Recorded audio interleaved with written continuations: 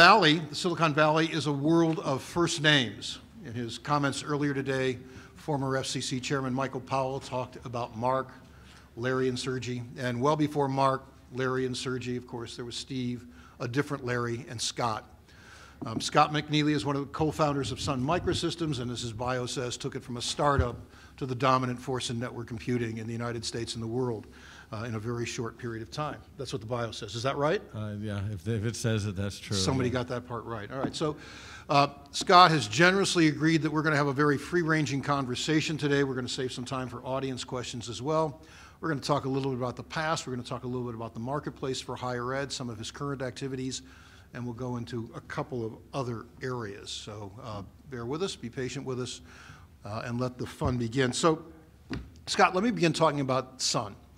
Uh, Sun grew out of a university experience. Uh, certainly, higher ed was an important, probably not the largest revenue generating client for, for Sun, but strategically and for other reasons.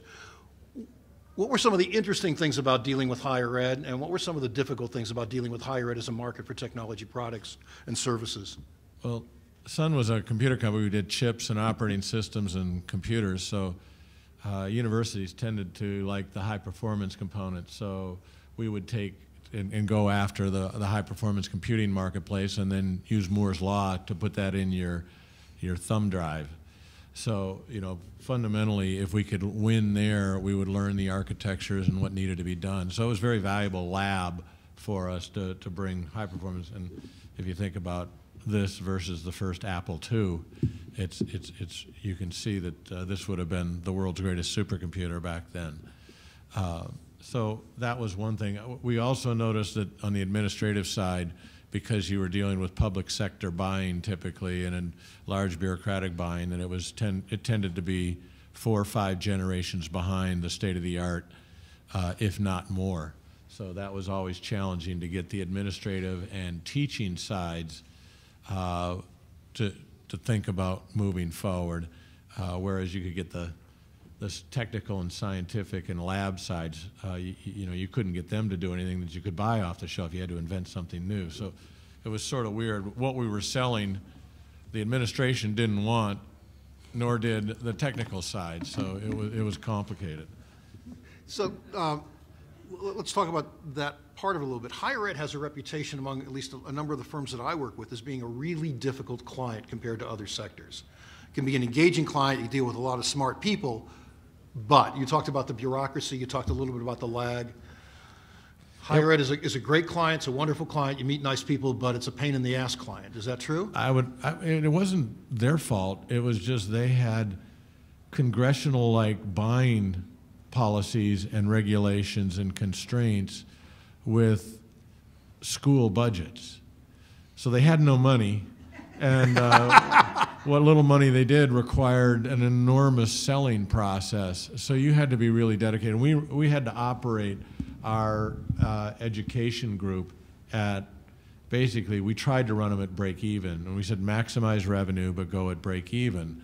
And so that actually ends up uh, making schools get trapped into very proprietary uh, and monopoly owned strategies that and we all know that monopolies don't evolve their technology quickly, so they didn't have enough money to actually not make smart decisions, but to make correct decisions. They kind of had to go with who gave them the stuff. Uh, and Microsoft gave a lot of software away for free. You know, the first hit is free, right? And and and so it, it, was a, it was a tough marketplace. We did very well in it. In fact, uh, we had a, a multi-billion-dollar business that actually broke even, which was a lot better than most people did a multi-billion dollar business that broke even. Yeah. All right, so that, that's a, a cautionary tale for many folks who want to yeah. come to this so, market. So, you know, I think if education was released from the clutches of the not too big to fail, but too big to ever succeed public sector, then we'd have a very, very different uh, level of innovation from a technology perspective in it. But uh, you know, governments, public sectors.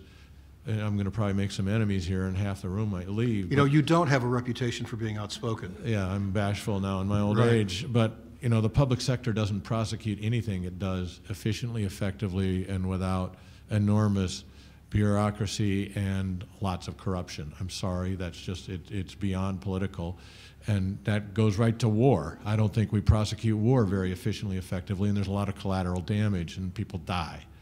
So, uh, but that doesn't mean we don't want to go do it. It's just, I'm just not sure education belongs in the public sector uh, any more than my health care belongs in the public sector. But now the libertarian in me is, is seeping out badly. But if I look back on my several decades of selling technology into the public sector, I mean, uh, the education market, um, the, the similarities are, are stunningly, you know, it's the, it's the $500 hammer that took six years to procure, and that's what you guys are having to face uh, in, in, in the education marketplace. This, this may be a bit too academic in a question, but was there a difference between dealing with truly public sector institutions as opposed to private nonprofits?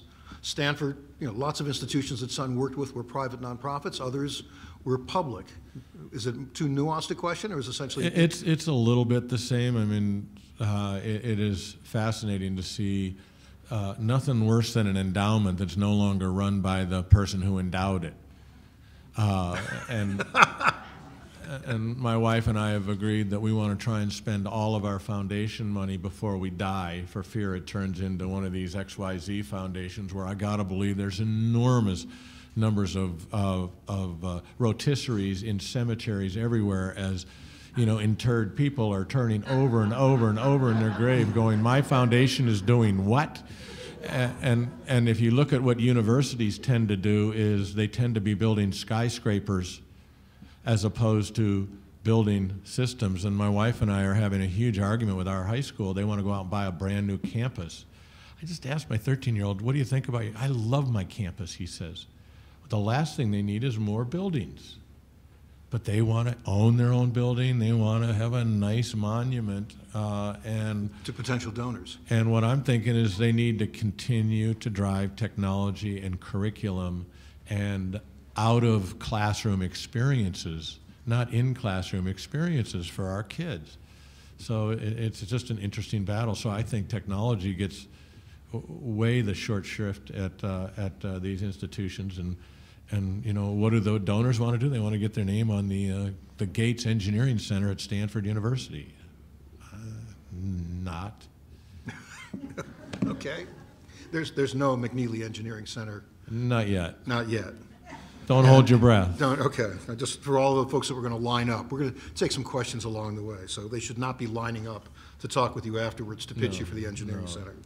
Yeah, you know, Sun was at the center in many ways of, of sort of the dot-com experience, and, you know, a lot of analysts look at the, the landscape today in the world of apps and other things and say, is this a revisiting of what we experienced a decade or so ago? What's your take on that? It's very different this time. Uh, How? Well, in fact, there have been many, many waves. I'm an old guy, so I actually was there right about the time when we started doing transistors and Fairchild. And then the next wave was we actually uh, moved, you know, out of the Fairchild Intel world to actually doing, uh, you know, chips and, and integrated into things like disk drives and motherboards. And then we did computers and, uh, and then we went into hosting and then services. And now we're kind of into social networks. And that's what the Valley's all about. It's the Zyngas and the, and, you know, the Angry Birds and uh, all of those other things and Facebooks, you know, relationship status. That's really key. It used to be kind of a secret. Now, it's a digital tattoo that uh, is out there. And you know, the the thing that's different about this is back in the old days, to do silicon required lots of jobs. I think the scary thing about social networking is it doesn't take a lot of jobs.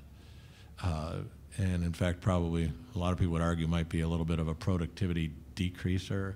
Kind of like I used to claim Microsoft Office might have been the one greatest uh, sand in the gears of national productivity that we've ever had. Uh, and so I worry that we're not really inventing.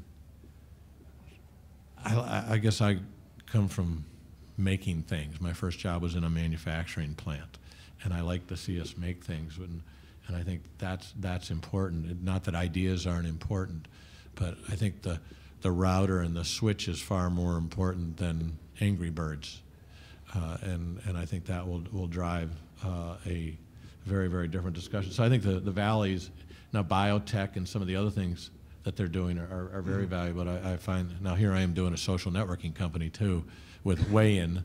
So, uh, but but I, I think I can justify that, or shall I say, rationalize that a little more.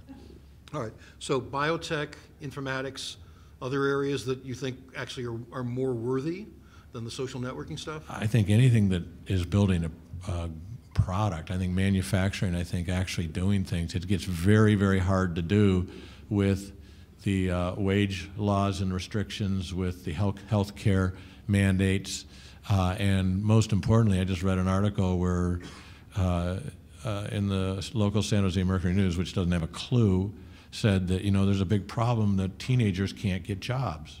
Well, duh. If we eliminated minimum wage, first of all, there'd be a lot more jobs for everybody, and jobs would come flying into our country as opposed to flying out of our country, and the cost of living for all of us would drop because the cost of all goods and services. So there's a huge win, and then we'd be exporting a heck of a lot more instead of importing like we do. There's just this massive spiral. But take that one away. Let's just go to a minimum wage elimination for anybody 21 and under, and you'll have people working. And then we could actually put the kids to work in production jobs, actually building things, and we can start exporting. But uh, that's my biggest worry is that we have turned into the information society, but I'm not sure that there aren't a lot more brains in China and you know that's that's not necessarily a war you win. So I, I, don't know. It'll be interesting to see. I don't know. I I don't want to be a crusty old guy that's a little little negative, but I'm trying to teach my children Mandarin right now. As opposed to having them spend time on Facebook. They, none of them have Facebook accounts. They do have they do have Wayin accounts, but uh, none of them have Facebook accounts. That, as a parent, that you know of. Uh, we're pretty. We have all their passwords. we know. So you are, are a command and control kind of guy in terms of, uh, as the CIO of the. Command and control doesn't even get close to how my wife and I manage our children. All right. All right, so you've given me the segue. Let, let me give you an opportunity to talk a little bit about uh, both Wayin and Curriki. Floor is yours. Be shamelessly self-promoting. All right. Well, let me first of all talk about Curriki because I, I believe in the written and spoken language of computing ought to be open and free and not controlled by any single technology company. Uh, in the same way that, I mean, I wish I owned English. I wish I owned just the vowels. All right, and, and I could charge you if you spoke it, wrote it, read it, used it in any way, shape, or form. And I wouldn't charge a lot, but you know, if, if I, I wouldn't even mind if it's just Y. I just like to own Y, even though it's not a regular vowel, and I can make a lot of money on it. And I think that uh, you know that's very, very uh, critical, and which why Sun, you know, as a top 40 R&D player globally, any industry, any technology, open sourced an enormous portfolio of, of technology because we just thought it was enabling and it was the right thing to do. I was a good capitalist, not a great capitalist. Larry's a great capitalist, Larry Ellison. Uh, so he now owns Oracle, uh, uh, Sun Technology, and he's not exactly pushing this sharing thing. Sharing's not. I think that was a third year college class, and he dropped out before then. so, um, so uh, my head of worldwide education and I were sitting around in um, Italy uh, at an education conference, and we thought, why are we open sourcing spreadsheets, operating systems, word processors, all that other stuff?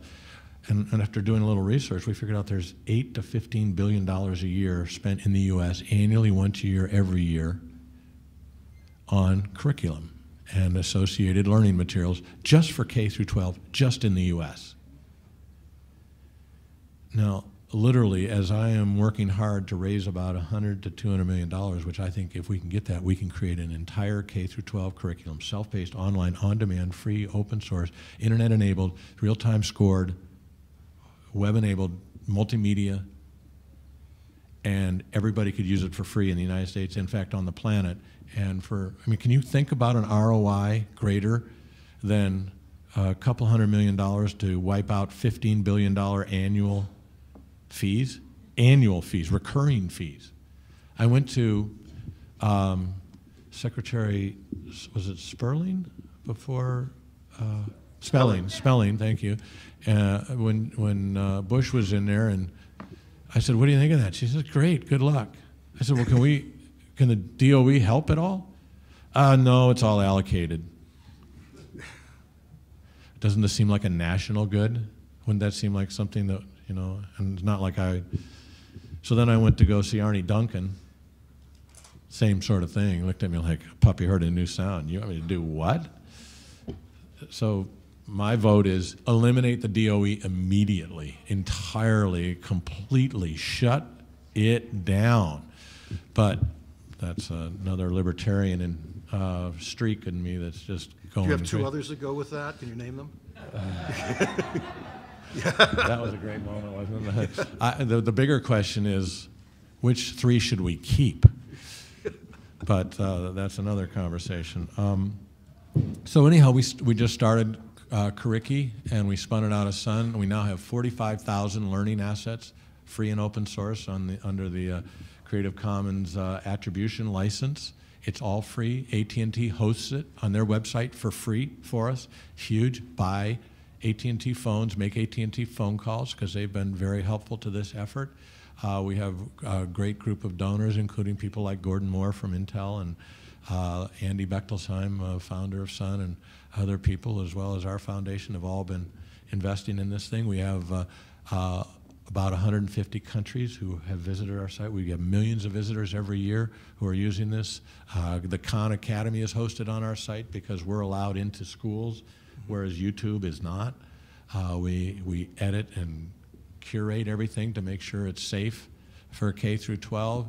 And uh, we're only limited by the funding we get because people are trying to throw stuff on our site, and we need to grab it, load it, ta- uh, tag it, curate it, uh, and, and vet it, all the rest of it, and uh, continue to update the site. So that's what we're doing. It's a great resource, and I encourage all of you to go look at it. It's got everything from textbooks to curriculum to uh, science projects to worksheets and every kind of supplemental learning uh, asset that you could want to use uh, on the website. Did I mention free? So uh, that's what we're doing Let me stop you on this one, though, because you just used a key word, and that was supplemental. The, you know, there's a huge, rich array of supplemental, the Curriki stuff, Khan, lots of other stuff that, that people do. But a few moments ago, you also talked about a kind of a gestalt. Let's take all these little pieces and make them into a full, comprehensive, if not cradle to grave, then K to, to high school Right. kind of program. Um, it reminds me of a comment Peter Drucker made in a famous Forbes interview in 1997, where Drucker said, you know, higher education is hopelessly out of date, college campuses are effectively useless, and even in 1997, when he was really talking more about airwaves and broadband, he says, we're pushing more stuff over the air than we are, and we're doing it more effectively. And I think that many of us saw that, and, you know, Drucker was a, certainly uh, liked to throw little things out there to, Hand to- to grenades, pro- right, yeah, yeah. sort of get people going. And yet at the same time, the question becomes, I- and I think it's a fair one, well, where did Drucker want his great-grandchildren to go to college on the trust fund? Was it, you know, sort of the online places that sort of pointed to where he was talking about in the Forbes interview, or was it Bennington, NYU, and the Claremont colleges, these very kind of small, unique, high-touch places where he had spent his professional career? So on the supplemental side, I don't think you get much argument with a lot of folks. When you talk about aggregating all these things into a complete, comprehensive, turnkey K-12 through, K through 12, you know, the question is, you know, very directly, do you want your kids to have, sort of live in the online environment exclusively, or do you want them to have benefit to the rich supplements? So there's, we have this, I call Curriki a box, a huge drum of Lego blocks. And literally, you could build five trillion different K through 12 curricula creations out of these Lego blocks. And depending on whether you believed in evolution or creationism, whether you believed how the Japanese felt about the Chinese Japanese wars or how the Chinese felt about it. I mean, you can do revisionist history with these things. You can edit and update. You can make it STEM oriented. You can make it liberal arts oriented. You could make it, you know, however you want out of all these building blocks. What would we do with money is we try and build higher level components than just the little pieces that we've got and we just don't have the money to go do that. Uh, and you know, we'll, we're slowly doing that. I mean, it's happening. There's way better pieces and sub-assemblies, if you will, uh, to building out curriculum than we had uh, over over time. But ultimately, But you're also doing vetting in QA in yes, yeah, and basically, we- you know, we're we're buried because people are all inventing all these great little components, these Lego blocks, and they have no way to distribute them. And so we end up being kind of the brand that you go and the search engine where these things can be found. So when there was a tsunami uh, in Japan, tsunami was there right on the front page. All of the tsunami, you know, what causes an earthquake, what caused. Kids wanted to know. They were freaked out. They wanted to know. They wanted to understand the science of what happened, and the teachers wanted supplemental tools.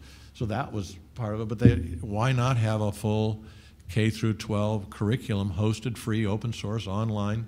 And the real challenge is with you know the United States. There's how many certification processes do you have? You know how many school districts, and you know do you go to the national standards, the local standards, or the teacher standards?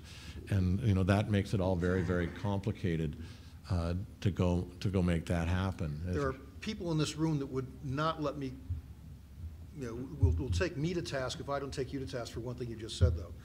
Um, Evolution versus Darwinism, given, given the conversation about the, the need for STEM training in the United States, uh, in, in terms of the vetting that you're doing. It- it- Why don't you talk about that? Because I think that for a lot of folks that are committed to science education, committed to enhancing the workforce, you know, the notion that creationism is part of a curri- a curriculum of science would raise a very large red flag. I said a K through 12 curriculum. I didn't say a science curriculum. So, I mean, All right. you know, again, I- I'm not going to get into that debate.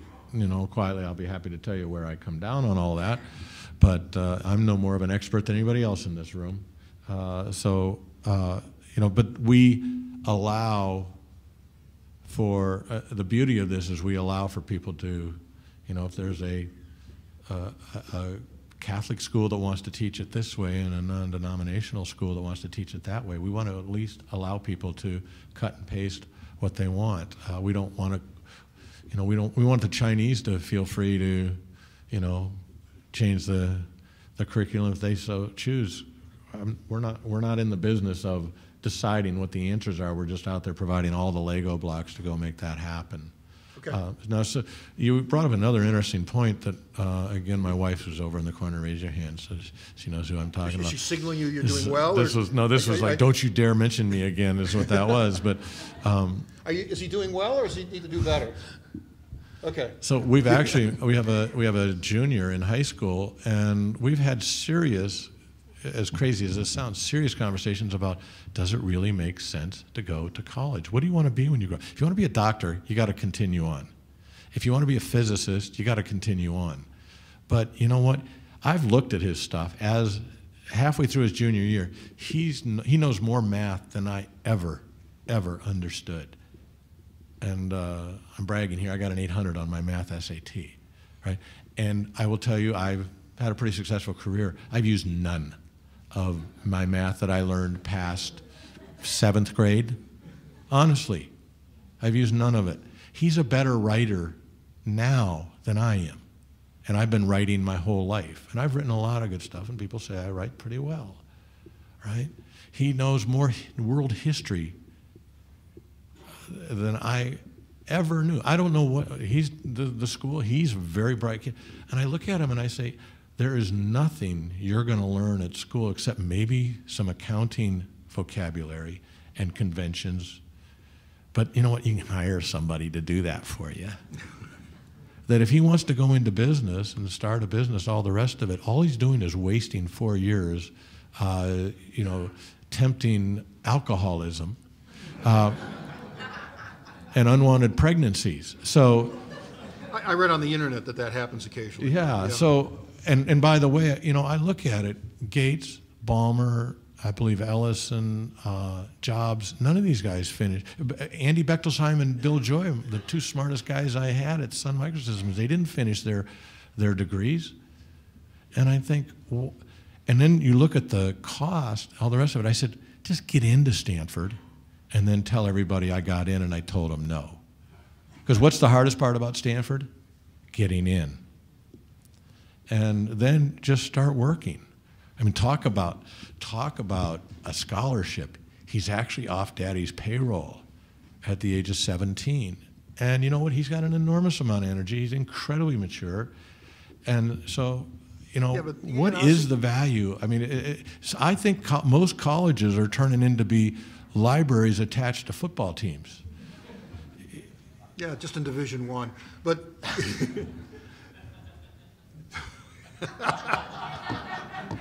But with due respect, I mean, your profile of your son, and we all feel that way about our children, sort of makes you the one, or one of three or four successful parents in the room. In the large population of the, there's 18 million college students, but only four and a half of them are really traditional college age in terms of 18 to 22. If they're not ready, I wouldn't send them to college. If they're not ready for a job, uh, why would you dare send them away? Because, you know, I don't really want my kid to go hang out with those inmates. Okay. That's the other problem. All right, point taken. I'm going to give you a couple seconds to talk about Wayin, and we're going to go, we're going to go elsewhere. right, so in the Wayin, conversation. Wayin is my new social mobile uh, environment, and you can go download it to your iPhone or, or, or your Android or get it on the web, W A Y I N. And the idea behind this was I have opinions and I like to express them if you haven't noticed. And it's hard to have a one to many conversation. It's hard for uh, teachers to have a one to many conversation. It's hard for celebrities. It's hard for brands. It's hard. Um, for uh, government institutions, everybody to have a one-to-many. Twitter is a one-to-many broadcast, but it's not a conversation. There's 13 million people following Obama on Twitter, but how many of them love Obama? How many of them hate? Well, we use evocative pictures with questions, uh, multiple choice questions with comments, with instant results, real-time polling, real-time results. Try it out.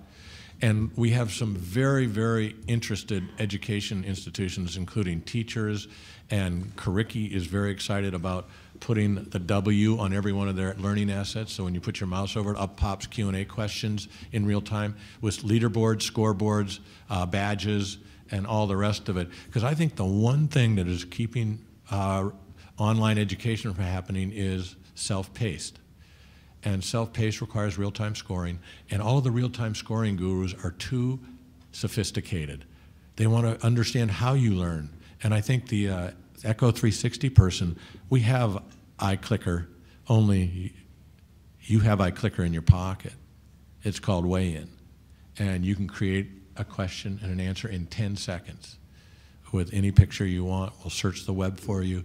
Uh, and we have leaderboards, scoreboards, all the rest of it. It uses over the air, no hardware required, and it's free. Did I mention free? And you just use it. We have a professor at BU who uh, has, uh, she's putting a white paper together and she's not ready yet to let me share it with you. She gushes about how her lecture series exploded into debate, conversation, interest, activity. The students loved it because she would ask questions the night before her lecture about what she was going to talk about, which they would do research. The kids were asking their own questions, and the debate channels, uh, the debate on the channel in, and in the classroom just exploded. Uh, she never had to call on anybody again, and people who were shy could make their arguments in comments uh, on, on the website. So this is, uh, I think, a very powerful intersection uh, and where the iClicker has gone, gone from proprietary stuff to the standard off-the-shelf iPhone app. It's free, download it, try it out, uh, and start thinking about how you could use this. And uh, we're integrated into Facebook. You can broadcast to Twitter, uh, and anybody can uh, create a channel. The one thing we will have new in very short order is uh, conditional access channels so that only your students can vote but everybody can view, or only your students can vote and only the students can view, or only the students can vote and only the teacher can view. So we'll, we'll have all of those different uh, uh, characteristics, which right now, the beauty of the public thing is everybody can vote and everybody can see how everybody voted, and that's, that's kind of cool too, because I always believed that anonymity breeded irresponsibility. Okay. I, want to come back to the Valley culture. Uh, clearly, you are, you were, had been for a long time a Valley insider. Uh, you knew Steve Jobs. And at one point during his exile years, there was com- public conversation, or at least speculation, that Sun was made a bid or was in the process of, of making a bid to buy, to buy Apple. Uh, there's been a lot of conversation about Jobs in a lot of different forums, and not just the tech industry over the last couple of months since his passing. Uh, what don't we know about Steve Jobs that, uh, that's been missing in this conversation? Um, well, You know, I, I admire the heck out of Steve, and I think he's the probably the greatest entrepreneur we've seen in our our lifetime because he created Apple once and then created it again, and he did uh, Pixar, and you know, NeXT by anybody's. Uh, I mean, it wasn't successful compared to the other things he did, but how many of you wouldn't be proud to say, "Well, I did NeXT. He got bought by Apple, and you know all the rest of it." Uh, so he's a pretty pretty amazing guy. I'm I'm hoping uh, I'll uh, live long enough to challenge him this, with Sun and with Curriki and with Wayin someday, and I'm still chasing that demon. But he got a head start by not going finishing his degrees. But All right, so had you been in India with Steve, the world would look very different, yeah, is right, that right? right. Okay. yeah, uh, so, but uh, what what I will tell you is that he's not a great technologist. Anybody who's used his stuff, seen the innards, had to reboot, had the administrative challenges, all the rest of it, it it's not great stuff. What he brought to consumer technology was an understanding that you could turn this into fashion. And he really was one of the great fashion designers of all time. And he had all the characteristics and mercurial of a, I don't know what they're like, but a Pierre Cardin or somebody like that who was a fashion designer and he looked at the fit and finish and they were pretty. And it, it felt nice and the, the icons were, were nice, all the rest of it. I can't stand the stuff. Give me my old Sunray, my thin client with my Unix command lines. And I was thrilled to death because it always worked. I never had to futz with it. I never lost, never had to reboot, never had to get the toothpick out. It was a very, but this is way prettier. And that's what he really brought. He was also very good at understanding new business models, but he's not unique in that. But the iTunes business model, he was very good at. So he took fashion and business models. And I always argued if he could have taken Bill Joy and Andy Bechtolsheim uh, and brought together, because you know what Sun did really well is we invented core stuff that you don't really understand, like uh, NFS, like uh, we, we were the first company to put TCP/IP on every computer we ever shipped. I think it was 1998 before Microsoft finally put TCP/IP into their operating system. I mean, think about that. We did Unix with Solaris. We did um, uh, Java. We did we did that really hardcore hard stuff, but it wasn't considered pr- pretty or sexy. And you don't you used it, you just didn't know you were using it, and it's what made stuff work. But what Steve did so well was he made everybody comfortable. And you know what? This is the first thing my mom has ever used and, and I, I love him for that. But it's a piece of crap, technically. You know? you know, it could be so much better, and it is so wrong, and it is so proprietary that it doesn't work with anything else. Which is why I have this, this, and a Mac, and our whole family does. And my, my wife spends 90% of her time being, you know, chief administrative officer uh, for our equipment. So that, but you know, he he was a genius. He was a great entrepreneur. He was clearly the best fashion designer we've ever had in consumer, and uh, he he did some pretty interesting things with business models. Although um, I just wish he shared more and opened the interfaces up on that stuff. He must have missed that third-year college course He as well. missed that. That's a yeah. That's a well. That's that's that's what the you know tenured professors and and public sector union teachers will teach you about communal things. All right. So I want to open this up. We're going to open this up for a couple of questions, and I'm going to come back with one last question to Scott. So if you would, as we've done in the past, stand and deliver, tell us who you are, where your affiliation, so we can make all the inappropriate inferences about what you're about to ask. Let's begin with the gentleman in the gray suit and the gray hair. Uh, John Edelson, California State University, Monterey Bay, and uh, Curriki's great. Thank you. Um, Verizon has uh, their Thinkfinity uh, in the Silicon Valley. I think you have Lesson Plan Utopia. We have what you're doing. Is there any chance we could get all these guys together on the same page? Uh, I, I would love to. All of our infrastructure software, we'll share it all with anybody. We're not in a competition. That's the difference between .org and .com. We, we want everybody to steal all our stuff. You know, come get it. Um, you know, we actually we, we actually are building some revenue models because fundamentally with trickle trickle up poverty, the the charity uh, the charity class is basically disappearing. So we're having to find some self-funding revenue models, uh, which means we are uh, finding for-profit organizations that are using some of our stuff, and we charge support pricing and that sort of thing. But we're happy to work with and, and eager to work with any and everybody to share interfaces, ideas, and content. And Why, that. why haven't they been happy to share and work with you? What, what do you think the barrier is for them to? Because Uh, I- I their stated goal is what you stated. I, I don't know. I don't know. Um, everybody's busy. Um, Could, could you go and then report back to us, maybe sort of in the next class? I could do that. I All could right. do that, absolutely. That's great. Next question, please. Hi, I'm Mike Goldstein, uh, Dow Lohnes, Scott. A long time ago, uh, you were involved in creating Western Governors University, and which at that time was supposed to be the breakthrough that would transform American higher education. Competency-based learning, get rid of the courses, get rid of the campuses, uh, let students learn what they need to learn and then test to see if they've got the competencies and put that all together and provide them with the certification. If the certification is something like an industry that changes, you give it a lifespan and say after five years you got to get it again. Right. Why hasn't that become the future of higher education? So I was the angel investor for Western Governors University. Uh, Leavitt and Romer were a couple of governors that came to me, and, and Susan and I funded that thing, and uh, just the, the seed funding, the angel. And, and if you go look at the numbers, it is off the charts. It is just doing spectacularly. It has grown like crazy. Uh, and I gave the um, commencement speech there uh, a few years ago. It brought tears to my eyes. It was so exciting to see what it's done. It is probably one of the biggest education secrets. And, there, and, and, and uh, I, I encourage you all to go uh, actually research and look at the growth charts on that thing. It is, it is, it is spectacular.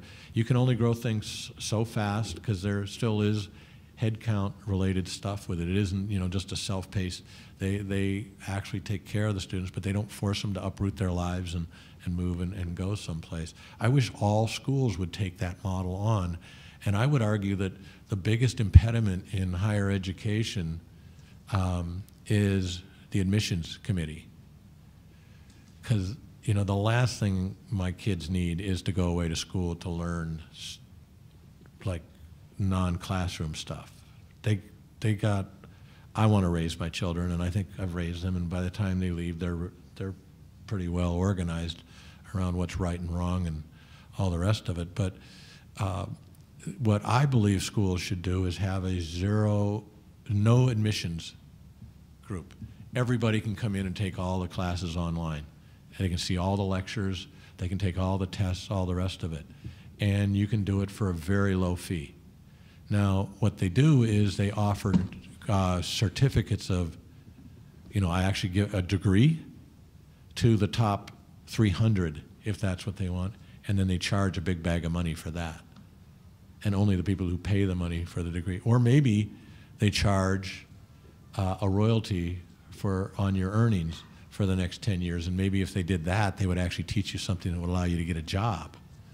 Uh, but there, there's, there's got to be a way better model than the endowment, the tenured professor, and the, uh, the tuition costs that are escalating at way higher rates than our health care costs are rising. And, and so I would argue there's, there's got to be a lot better models. And I think the Western Governors model is one that is, is winning big time, as are a lot of the for-profit models that everybody's trying to shoot at.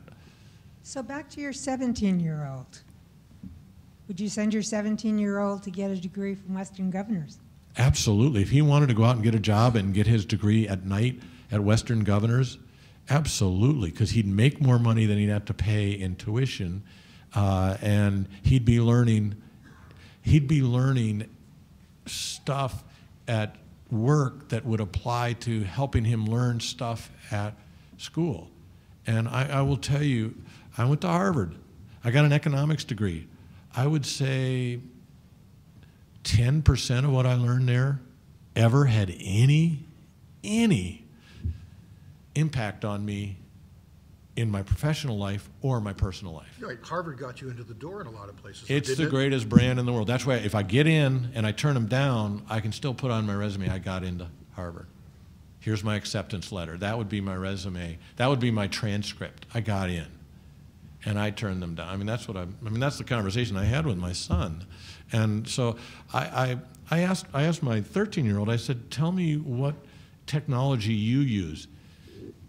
Google, Wikipedia, Dictionary.com, uh, WordReference.com, and Athena, which is kind of the learning management, uh, which kind of doled out his homework assignments uh, and had content that could be uploaded and, and delivered to him from his school. And Athena was just the school name of the little kind of learning. It's a little curricula inside of inside of his school, and and that's the technology he uses. Isn't that interesting? Uh, my my uh, he's now 16, uh, a junior was trying to learn about orbitals. I don't know what orbitals are about, but I think is that chemistry? Yeah, it's, it's things going around. And his teacher literally had tried to teach his class for a week about orbitals.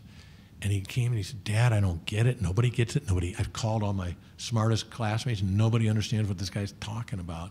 I said, well, go to Curriki and search on it. He searched on it, found a Sal Khan video in a Khan, Khan Academy, came screaming out of the, Dad, I got it, I got it.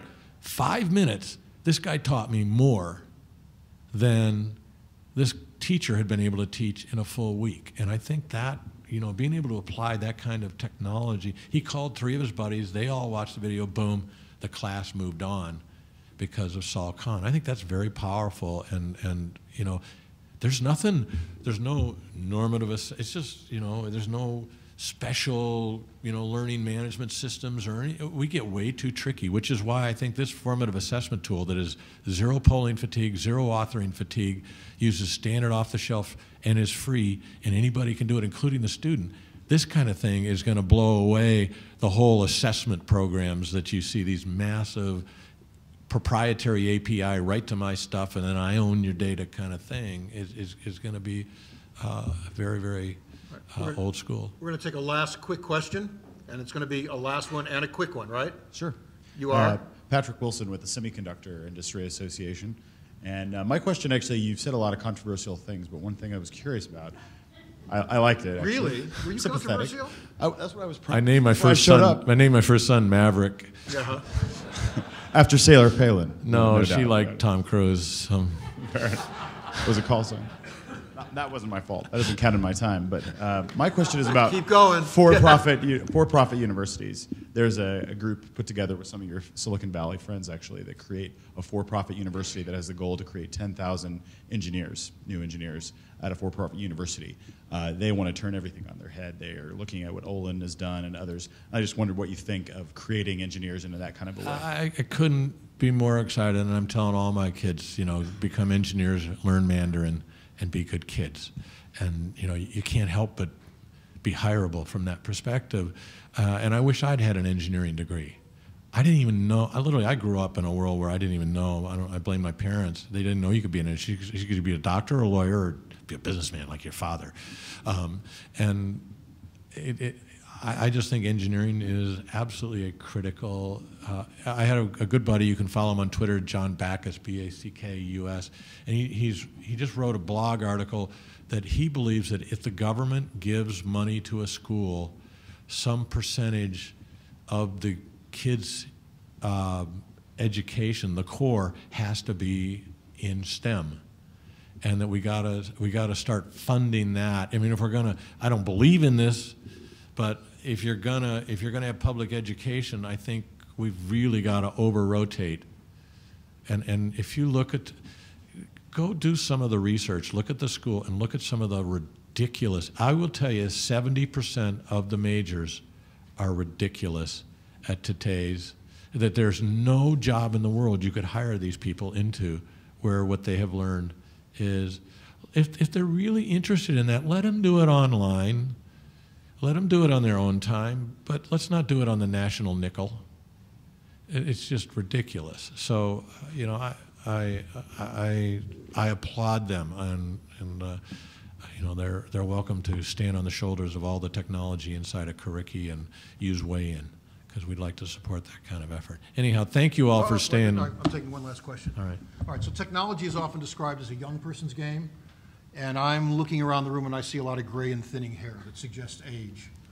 Uh, Lou Gerstner, when he went to IBM with no technical background, famously hired a bunch of younger people and sort of did reverse mentoring. Um, You are, I would guess, a little older than you were at the time of funding, you know, sort of starting Sun. What's a good strategy for those of us with gray and thinning hair or colored hair to sort of stay current in a world that's moving quickly? I, I think you, you, the way I do it, quite honestly, is Twitter. And I follow people who point me, it's a great clipping service for things that I want to follow. Some of it's the San Jose Sharks, but a lot of it is on technology. So I follow really smart people who put me onto articles and things like that. When it was really easy when I was CEO because I had my CTO literally every few weeks. I would have him take three hours out of my schedule, and he'd bring in the super bright people on a particular topic, and their whole goal was to train the CEO. I used the guys that this was important for me to know because it was like going to technical school with the brightest and most interesting people on the most cutting edge. It was, I should have been paying them. I would have, I would have given half my salary just to keep doing that stuff, just to listen. But it was also valuable as CEO to be able to be current and uh, that sort of thing. I'll give you one last idea. I was talking to the CEO of EMC. I said, run a channel and force all your employees to subscribe to it. And they're getting into big data, and the big data programming environment is Hadoop. Just ask a simple question of all your employees what is Hadoop? Give them four answers, one of which is correct. They'll either vote the correct answer immediately, or they'll be smart and they'll go out on the internet and search Hadoop, figure out what it is, and then vote correctly, or they'll guess wrong, and now you have who's on the top of your list for your next layoff.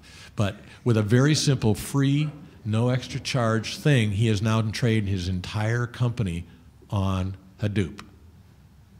And how else can you do corporate training quicker, faster, easier, more effectively, and set up your next layoff?